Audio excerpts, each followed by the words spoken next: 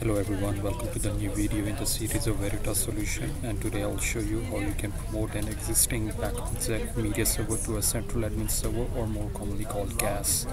Now in order to do that I've already installed BE16 so let me open the user interface and uh, I'm on the home button and there is no reason to believe that this is acting as a CAS server. Now to install the CAS go to the top left corner expand the BE16 logo and go to the installation licensing and select install option and licensing of this backup exec server.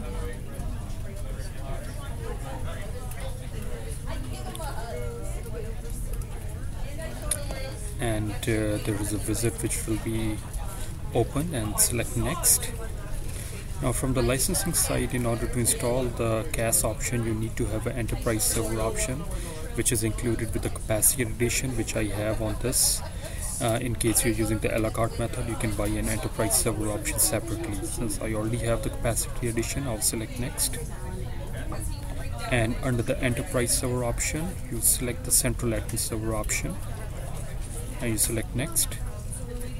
And uh, you select next again. And there will be a brief overview of the summary of the selection that we have made. And you install now the whole idea behind installing the CAS is that, so say for example if I have a very large environment in which I have multiple managed backup exec so which is called the backup exec terminology, I can have a 3D installation in which I can have a central admin server which will be managing multiple media or managed backup exec server and these will be connected to the storage and they will be responsible for backing up the clients which can be a virtual machine, physical machine depending upon what you have in your environment so from one management console you can control all these management backup exec server. I also want to point out one more thing that a central admin server can also act as a managed backup exec server too. So let me go back to the installation. So this will take a little bit of time so let me pause the video and we'll be back once the installation is done